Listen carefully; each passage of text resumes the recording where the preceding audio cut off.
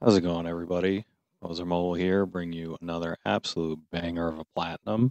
Today we've got Ziggy from Brazilian game devs AFIL, AFIL games. It's only five bucks on the PlayStation Store and comes with crossbuy. All right, so this is a little 2D platformer. Uh, you've got 30 levels total. We only need 10 for the platinum. Pretty simple controls here. You jump with cross, you dash with square. You can double jump and wall jump, and your dash does have a small cooldown, so you'll have to time them carefully. There is level select, so nothing's really missable.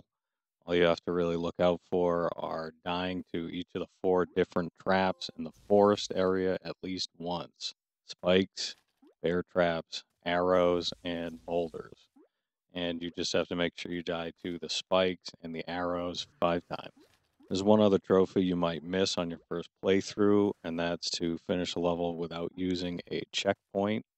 The easiest one by far is level 2. You just have to time your dashes to avoid the checkpoints.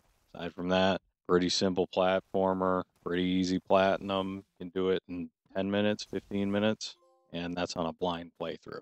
That'll do it for me, though, everybody.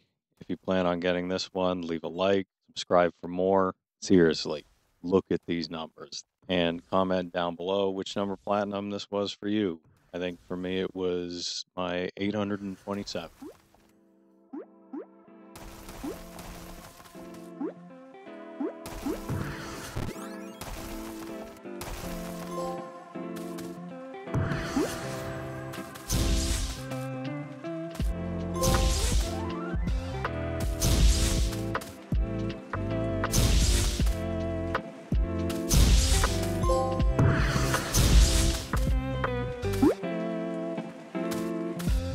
you